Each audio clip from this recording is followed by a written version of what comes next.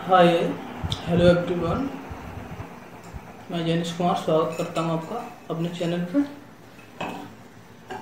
और आज आपसे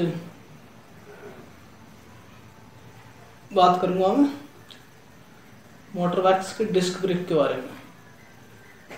डिस्क ब्रेक में क्या होता है? प्लेट होती है जो, उसमें होल्स होते हैं। तो काफ़ी लोग सोचते हैं, होल्स के बारे में नहीं पता होता है कि ये क्यों होते हैं। एक्चुअली में सभी लोग ज़्यादातर सोचते हैं कि होल्स से क्या होता है कि हमारे डिस्क जाम करने के लिए होते हैं। मैं भी पहले यही सोचता था। लेकिन अभी मैं इसका रीजन आप, आज आपको बताऊँगा प्रॉपर क्या रीजन होता है। तो मान लीजिए ये डिस्क होती है हमारी, ये व्हील पे माउंटेड होती है, जो साथ में व्हील के घूमती है। और डिस्क में जब हम ब्रेक अप्लाइड करते हैं तो कैलिपर होते हैं हमारे दोनों तरफ़ से डिस्क को इस प्रकार से फ्रिक्शन क्रिएट कर लगाते हैं दोनों साइड से तो डिस्क क्या है हमारी? स्लो हो जाती है और जाम हो जाती है। तो रीजन क्या होता है इसके ऊपर?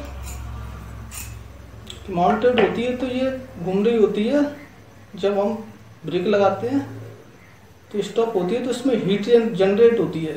बिकॉज़ क्योंकि ये घूम रही होती है तो इसमें काइनेटिक एनर्जी होती है। जब फ्रिक्शन क्रिएट होता है तो ये हीट एनर्जी में कन्वर्ट हो जाती है। ऊर्जा संरक्षण के नियम के अनुसार।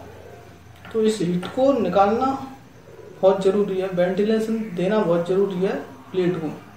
तो इसलिए हम क्या करते हैं, इसमें होल्स बना देते हैं प्लेट में ड्रिलिंग करते हैं प्रॉपर तो इससे क्या होता है सरफेस एरिया बढ़ जाती है हमारी। दो नंबर। होल्स के साथ फ्रेश एयर जाती है अंदर, जब ब्रेक अप्लाइड होता है तो उससे हीट हमारी प्रॉपर वेंटिलेटेड होती रहती है। प्रॉपर जिससे कि उस प्लेट का टेम्परेचर मेंटेन रहता है। क्योंकि अगर प्लेट का टेम्परेचर बढ़ता है तो प्लेट क्या करेगी? एक्सपेंड करेगी।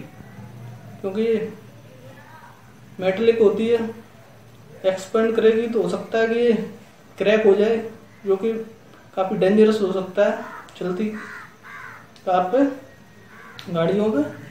तो इसलिए प्रॉपर वेंटिलेशन देने के लिए इसमें होल्स किए जाते हैं। और वैसे आप बोलोगे कि कार में नहीं होते हैं तो एक्चुअली कार में भी वेंटिलेशन होता है।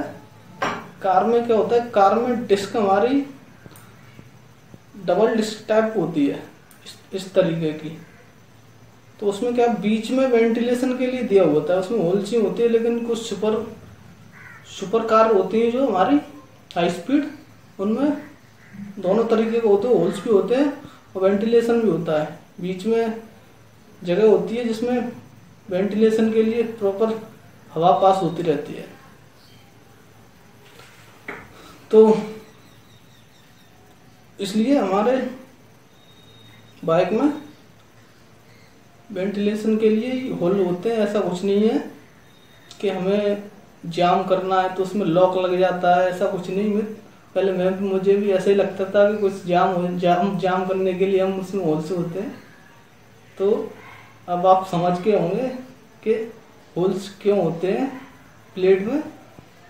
तो अगर आपको वीडियो अच्छी लगे तो लाइक करें, चैनल सब्सक्राइब करें और वीडियो को शेयर करें या जिससे दूसरे को भी इसके बारे में पता चल सके कि प्लेट में होल्स क्यों होते हैं।